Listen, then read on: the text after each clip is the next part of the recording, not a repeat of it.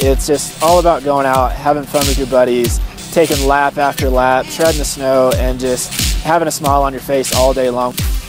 Getting that first lift ride up, getting to the top of the mountain, and seeing all the views around you is, it's hard to describe unless you really experience it for yourself. And as soon as you, you know, start going down the runs, letting gravity take you down, it's just, you know, it's honestly undescribable. Few of my uh, favorite spots to ride on Mary Jane side would definitely be the do or die trees. Awesome, awesome run, nice and steep, moguls, trees at the end, especially if we get a fresh snow, is unreal to go ride in there.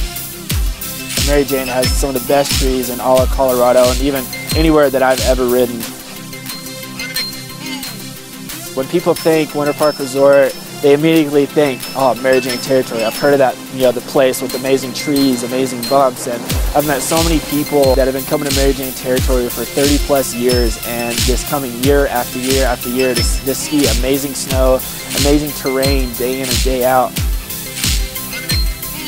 After after taking some laps on the Jane side in the morning, getting hungry, we, we always go to Pepperoni's down at the base, get a few slices of pizza and a beer, refuel for the rest of the day, and then go out and keep riding the powder.